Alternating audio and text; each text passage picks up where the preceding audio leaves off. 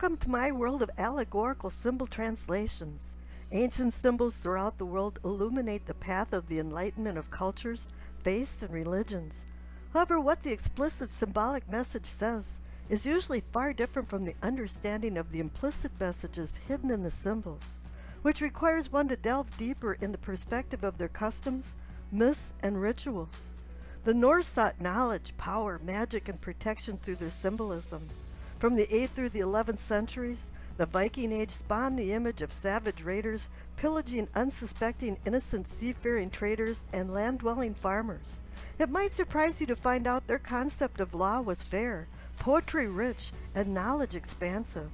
Overall, the Germanic-based Norse of the Scandinavian countries were opportunists, explorers and merchants seeking land and trade, and plunder which eventually found themselves immersed in the cultures they conquered. The Kensington and Narragansett runestones, found on American soil, are separated by hundreds of miles, but are closely connected to each other by a mysterious X symbol with a hook. The translation of the Narragansett runestone found in Rhode Island is a primer to understanding of the variant runic alphabets to bring insight into the later translation of the Kensington runestone found in Minnesota. All runic alphabets are similar, but the symbols and numbers of letters in each alphabet depends on era and location, as letters fluidly took on modifications throughout time. In reality, runes were late in the Semitic language game. Phoenician inscriptions are the oldest verifiable alphabet dating 1050 BC, and then were followed by Hebrew, Aramaic, Arabic, and Greek, with runes sliding in around 150 AD. Old Norse existed for 3,000 years until being mainly displaced by Latin and other Romanic languages of particular regions. The oldest runic alphabet, the Elder Futhark, dates from 150 to 800 AD and is named for the first six letters, Fehu, Uruz, Thurisaz, Ansuz, Raidho, and Kanaz, with Thurisaz representing TH. The Elder alphabet then morphed into the Younger Futhark that was used from 800 to 1100 AD if you notice the number of letters decreased from the elder to the younger alphabet. Over time, the runic alphabet hosted between 16 to over 30 letters. The rune master's carvings used all variations of letters at times and also utilized abbreviations as is common in Latin inscriptions. In 1984, the Narragansett New World runestone was discovered on the shore of Rhode Island by a Quahog clam digger who contacted the Rhode Island Historical Preservation and Heritage Commission.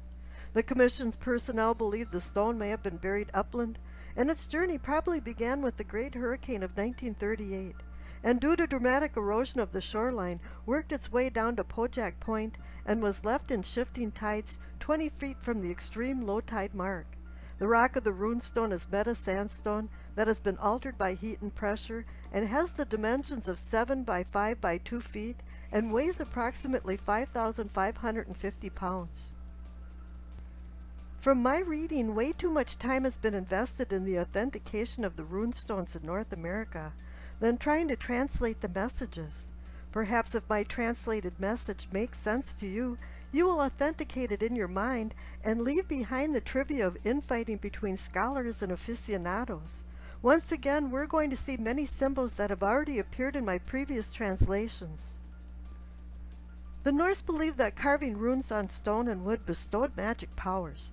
In fact, the word rune means secret or whisper, and in this translation I'll be profiling the Anglo-Saxon alphabet, which was in use from 400 to 1100 AD.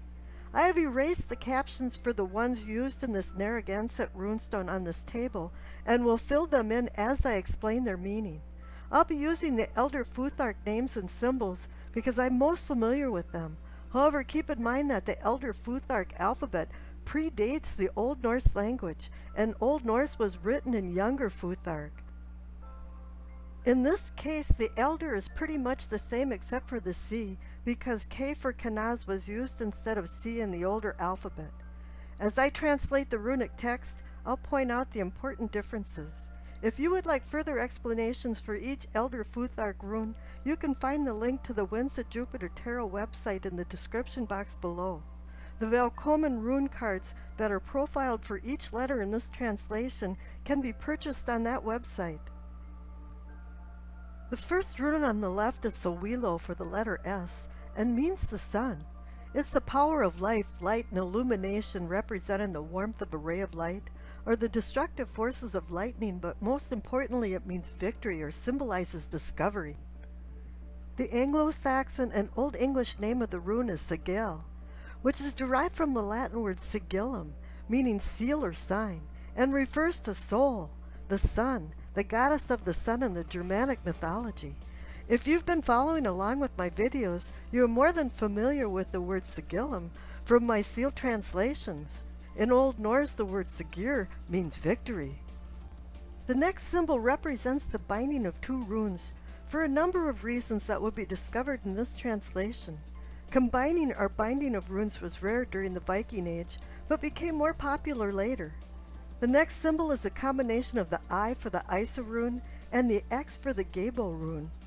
Isa means ice and stagnation, and is a rune that reminds you to look at things from many perspectives before determining your best course of action.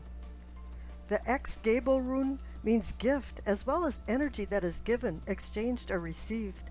To give is to gain, and it's also the gift of sacrifice. Sacrifice of any kind for the exchange of wisdom is considered a worthy endeavor, and for love is considered loyalty. The Sowilo rune, combined with the Isa and Gebo runes, spells out the abbreviation SIG, SIG, for victory. In fact, the next letter is an R, but the R is also used in the next word of the message.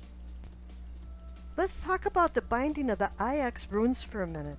The 8th century Ruthwell cross in Ruthwell, Scotland is carved in Anglo-Saxon runes and combined IX for the word modig, meaning courageous or brave, and also has a similar rune that's unnamed. In fact, the cross is considered one of the oldest works of Old English literature and contains 18 verses of the Christian poem Dream of the Rood, Rood meaning cross. This poem is carved entirely in runes. This saltire symbol keeps appearing in my translations, and two saltire configurations in my videos point to treasure locations, one on Oak Island and another location near the town of Rennes-le-Chateau in France. The next rune is Raidho for the letter R, meaning spokes of a wheel or radius of a circle, and infers motion, travel, journey, or visitors from afar, as well as arrivals, departures, returnings, and unions. The Raidho rune is associated to the blessings of the oak tree, related to the construction of ships. The next rune is Othala, for the letter O, and is thought to be from High German for the words odel or opal, meaning noble, and encompassing legacy, ancestry, inheritance, and possessions that you can't take to the bank because they're priceless. The next rune is a reversed K or C. In fact, the Anglo-Saxon alphabet is called Futhorc because that is where the C was introduced, whereas the Elder alphabet is called Futhark with a K. The K rune is Kanaz and means torch, light, enlightenment, or burning. The three runes spell out the Old Norse plural noun of rock, meaning origin, reasoning, or fate. Even within the Elder Futhark period, the K rune evolved into various similar shapes facing all different ways. In this instance, the K stroke is facing to the left. Rune carving and their interpretation is not an exact science. During the carving, the rune master could take many creative liberties with shapes and spellings, or borrow from runes from older alphabets. For example, the circa 1000 AD runestone found in England has the K rune stroking to the left, as is seen in the Narragansett runestone, that we'll also see on the Kensington runestone as well, and the M rune dotted that is not commonly seen until the medieval runic alphabets appear in circa 13th century. Many stones that survived are eulogies and gravestone memorials. When the Anglo-Saxons, Germanic tribes of Europe, became Christians, they somewhat adopted the use of the Latin alphabet, and later in the evolution of runes, some letters were easier to identify if you turned them upside down, and the letter L is one of them. So the last two letters are Li, meaning Loki, the shape-shifting god of fire with an evil disposition that was the antithesis of the Norse great god Odin. And in the mind of the Norse, Loki personified Satan. The name Loki is believed to come from a variant of a Scandinavian word for knot or web. And in the Norse mythologies, Loki usually entangled himself in predicaments from his scheming ways. So the first line of the runes on the Narragansett runestone translates into victory, fate, Loki. And once they landed on the shores of the New World, they probably fell on their knees, thanking their god Odin. And in the two runes below, it appears the X with a hook is honoring and thanking Odin. The two runes on the line below are Gebo, X with the hook, and Ansuz for an A. Let's review Ansuz first so we can understand the meaning of Gebo with a hook. Ansuz means God and is the rune of Odin, the Norse supreme god of knowledge, wisdom, communication, creation, poetry, and war. The Poetic Edda is a collection of Old Norse anonymous poems of wisdom and is the most important source of insight into the Norse myths and gods. The following Havamal poem, directly from the Norse words, is the key to the mystery of the X with a hook symbol. Havamal means the words of the High One, attributed to the god Odin, as Odin is unquestionably the High One, the one who sacrificed himself for the wisdom of the runes.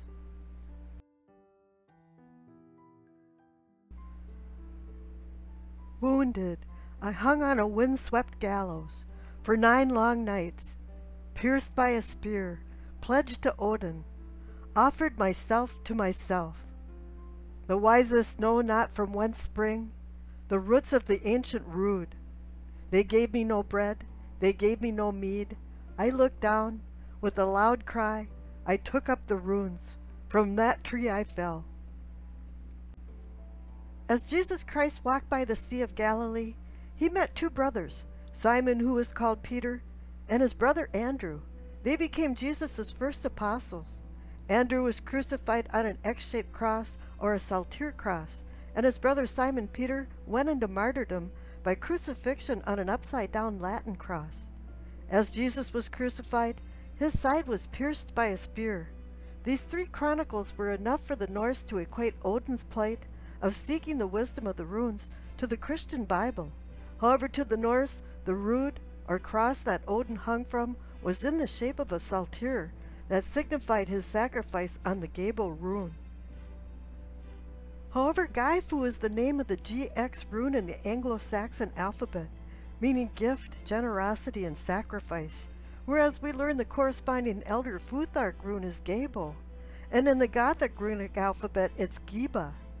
This GX rune derived directly from the Latin letter X, Therefore, Gyfu is Odin's gift of life to humans, generosity of keeping them safe during battle, and his sacrifice for the wisdom of the runes.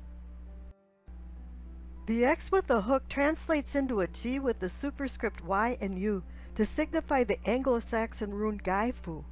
Keep in mind the letters Y, U, and W represent the Uruz rune for sacrifice, and actually means Auroch, a wild ox, Therefore the Norse equated Odin's sacrifice of hanging from Yggdrasil, their world tree, to receive the secrets of the runes with the crucifixion of Jesus Christ, because the X symbolizes Jesus. This rune binds G and U, which is the abbreviation for the Old Norse word for God, Gud, meaning to call or invoke. If the G and Y is switched around, it signifies YG or Jurg, which is one of many names for Odin. Yggdrasil in Old Norse means gallows. However, all this goes further than that to explain the hook attached to the X. Odin's spear is called Gungnir and is referred to as the spear of heaven with a point that cannot be broken. Odin's magical spear held the power of all the runes. The Gungnir welded by Odin is the very same spear that pierced him as he hung from Yggdrasil for nine nights in order to receive the wisdom of the runes. Their god Odin of universal wisdom and victory would throw Gungnir over the heads of his enemies before battle, yelling, Odin own you all! This wild call gradually became the symbol of the Viking warriors. In the Havamal poem, Odin says, Never go a single step without a weapon by your side, because you never know when you'll need a spear. The spear never missed its target. Odin's spear and their god of war Tyr and his sword were symbols of their power and authority. The word Gungnir means swaying, as in winning influence, and govern the fortune of war. Odin was the lord of the spear. As a result, the hook on the X signifies Gungnir and the unbreakable point of his spear. The Old English word for spear is gar, and the Gifu and Ansuz runes together are the abbreviation GA for gar. In fact, the third rune up above on line 1 is an R. The Gar rune has been added to the Anglo-Saxon alphabet. If we erase the majority of the square around the X, it makes the X with the hook for the Gar rune that means spear. So the complete skeletal message of the Narragansett runestone is victory, fate, Loki, God, Odin, sacrifice, spear. Or the more pleasing modern English translation is victory of fate over Loki from God Odin's sacrifice as the Lord of the Spear. Now let's translate the Narragansett rune text from Old French and see what the message says. The message is sig, for the Old French word signor or signor, for noble or lord, from the Latin word signorum. The next three letters could be ROI, with the I binding a backward C. ROI, wa, in Old French is king. The message so far is noble king. The letters that were LI for Loki now turn into the Roman numerals V1 for 6. And we'll find out that the C represents Charles. So the message is Noble King Charles VI. This runic message is believed to date circa 1400 AD. King Charles VI of France reigned for an amazing 42 years between the years 1368 to 1422 AD. King Charles was known as beloved to his face and mad behind his back because he became delusional at times and killed his own knights and men.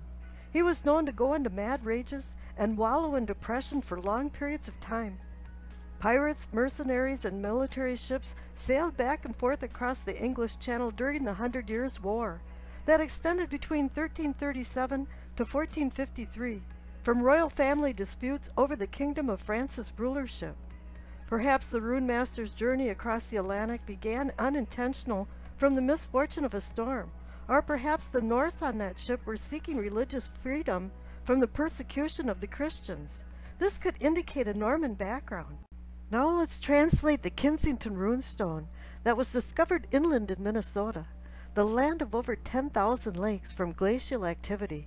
The stone is a 202 pound slab of greywacke, very hard and dark colored sandstone. It's covered with 12 lines of runic symbols, 9 lines on one face and 3 on the side.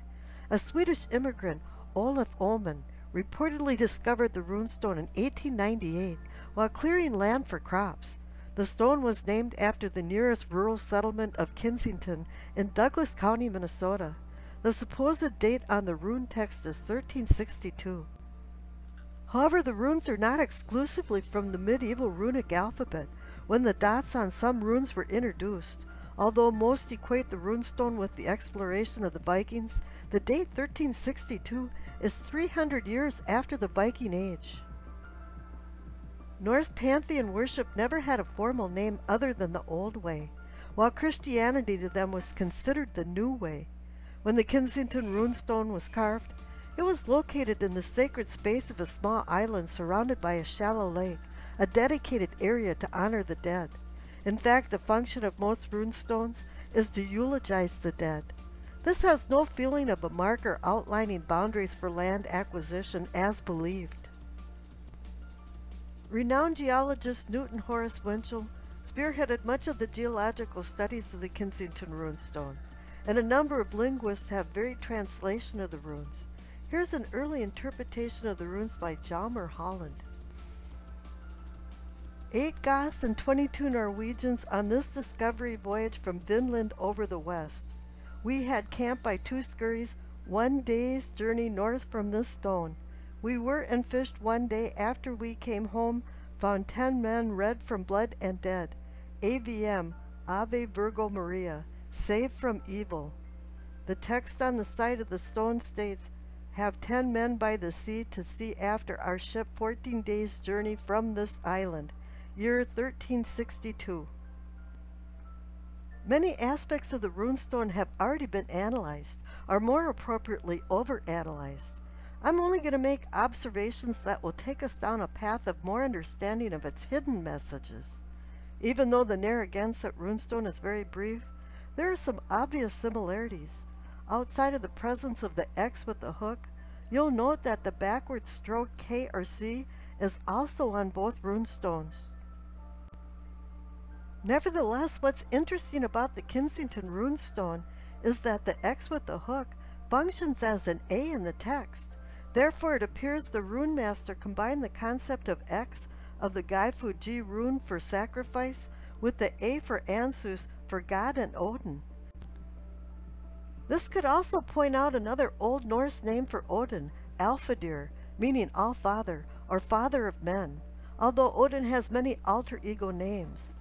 Thus, the concept of God and Odin are in two separate thoughts in the Narragansett rune and one in the Kensington rune stone, with the X with a hook signifying Odin's sacrifice and Gungnir, his magic spear of heaven that brings victory to their battles. The X with the hook is symbolic of the Norse holding on to their old way through the runic symbolism of language. For writing was the greatest gift from Odin and was the driving force of their cultural bonds. The other oddity of interest of the Kensington runestone is the AVM in Latin letters. If you notice, this is reinforcing the A that equates to the X for the Gyfu with the superscript Y or U for the Uruz rune, because V was synonymous with Y and U at the time. Let's translate the AVM into runes. Ansuz is the rune of God and Odin. Uruz is the rune of sacrifice, and M, Ehwaz, is the rune of loyalty and love. So the message for AVM could be God, Odin, sacrifice, and loyalty. And then again, it might simply mean Ave Virgo Maria or Hail the Virgin Mary. At this point, I have one quick comment. The M appears to be separated and could be read as the runes for L and T. The word alt is a variant of alt meaning old in Old Norse. Could this be a message that they're loyal to the old way? Otherwise, the entire Kensington runestone would have been carved in Latin, which I'm sure the rune master spoke and wrote. You may think the Norse antiquated system of writing doesn't affect you today, but the Anglo-Saxon words writen, meaning to carve runes, and writen, meaning to interpret runes, became our English words to write and to read. And also the majority of our names for the days of the week came from Old Norse. Tuesday is from Tyr, the Norse god of war. Wednesday is from Woden, an Old English variant of Odin. Thursday is from Thor. And Friday is from Freya, the Norse goddess of love, beauty, sex, war, and death. Saturday is from the word Sabbath, and Sunday is the day to worship the sun, while Monday is the day to worship the moon. Odin was the power of weird, and the bender of Orlog. The Norse word weird is the root to our English word weird, meaning fate. Orlog means the primal law of things and embodies Weird's fate, imposed by the three Norns, the Norse goddesses of destiny, binding that which is, that which is becoming, and that which should become. On my last video, I translated the Seal of Zion from the Abbey of Dormition or Abbey of Our Holy Lady of Mount Zion in Jerusalem. Now here's a jaw-dropping comparison of the italicized Y or V on the seal of Zion with the Kensington X with a hook. Now how did the same symbol that dates circa 1289 AD from Mount Zion show up on a rock attached to a Nordic rune along the shoreline of North America dated 1362 AD? This unusual seal has rays of light descending with a dove onto alien-looking beings, which is quite the attention grabber for our modern times. The italicized V or Y on the top left of the seal before the Georgian Mkhedruli letter T that functions as an M appears to translate into VM to signify Virgin Mary or Virgo Maria, which the Norse most likely equated to their goddess Freya of love and beauty. I've equated this hook symbol with the Hebrew letter Vav, which actually means hook or peg, and the byname X with a hook is incredibly appropriate for it on the runes. If you think like a Norse, This also appears to have the message of Alpha and Omega hidden in it for the first and last, that in Christianity infers Christ. Here's what Alpha and Omega looks like in Greek. In Hebrew, it has the X shaped Aleph and the N shaped Tav, but in Hebrew, these would be read backwards. On the bottom is the Norse rendition of Ansuz with an F shape and Uruz with an N shape. If the Greek or Latin A is used instead of Ansuz, we have symbols that are very similar to the Greek alpha and omega. Therefore, the Latin AVM found on the Kensington runestone could translate into Mary first and last.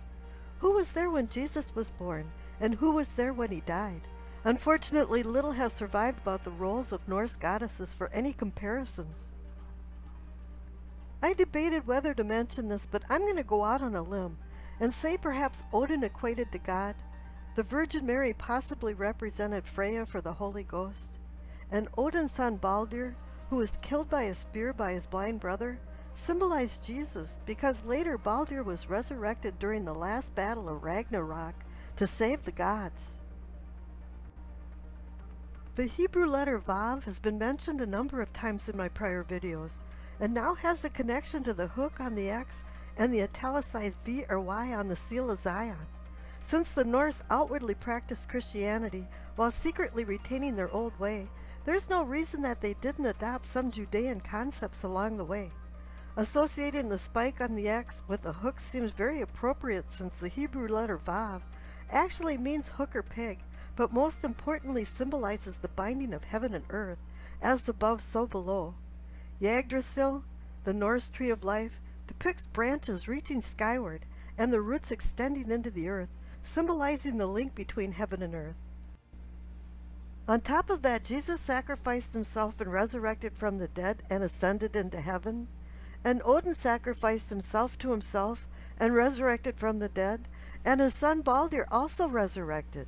Jesus ushers the worthy into heaven, and Odin ushered the worthy into their heaven Valhalla, Hall of the Fallen. As Christianity promises, one day there will be a combined resurrection and rapture of all the believers coming after the Great Tribulation during the end times. And the Norse Ragnarok was a foretold twilight of the gods and a time of great destruction, where those in Valhalla would join the gods in the final battle against the forces of evil. Ragnarok means fate of the gods. There's one more thing I'd like to mention before I go. What was the king of the Scandinavian countries doing at the time when the Kensington runestone was carved? This seal indicates that King Magnus Eriksson IV was king of Norway, Sweden, and Gothorum or Gotland between 1319 and 1374 AD, and his association to the Goths of Gothorum from the seal doesn't really jive completely with the history books. Once again, the unique VM is found in the last letters of the word Sigillum, and could be translated as Sign of the Virgin Mary. Interestingly enough, Sigillum and Gothorum have the unique VM, but the word Sweden at the bottom of the seal does not. Magnus's father, Duke Eric Magnusson, had a seal that states he had a secret, spelled secretum, that uses the V with the unusual M in the word secret, and also has the VM on the word Sweden. The word secretum means secret, and also secretion as in fluids or blood, which could be identifying a bloodline. Did the Duke and his son have a secret? Is this unique VM together a signature of a hidden order that extends back to the time of the Crusades, or perhaps even before the Crusades? For the Seal of Zion has an older version of this possible signature. Comparing the Kensington and Narragansett runestone symbolic meaning of X's with a hook, expanded the understanding of the Norse's frame of mind regarding the Old Norse word rock, meaning fate, and the other true meaning of ratio for reason, or comparative reason to be more exact. Thinking logically broadened the scope of the word rock to reveal a grasp of the origin of the X's with the hook, and the fate of divine providence. Paradoxically, divine providence was at work to bring us all together collectively at this juncture for understanding of the rune's possible message of victory, fate, Loki, God, Odin, sacrifice, and spear. The word rock for fate and ratio also encompasses the first Old English words translated from the Oak Island stone, ord, meaning point of origin, point of a weapon or place, and parallels the idea of a point of a spear. The second word found expanded ord to word for the providence of the Word of God, and logical thinking, which parallels the meaning of rock for reasoning. And the third word of the same series translated into the word sword for the destructive nature of man. Please don't forget to subscribe, like, share, and comment to support my channel. I'd really appreciate it. Stay tuned for my next translation of the Saltire symbol, or perhaps a quick video on the Heavener runestone that was found in Oklahoma, unless I find something else that draws my attention. Thank you for visiting my channel.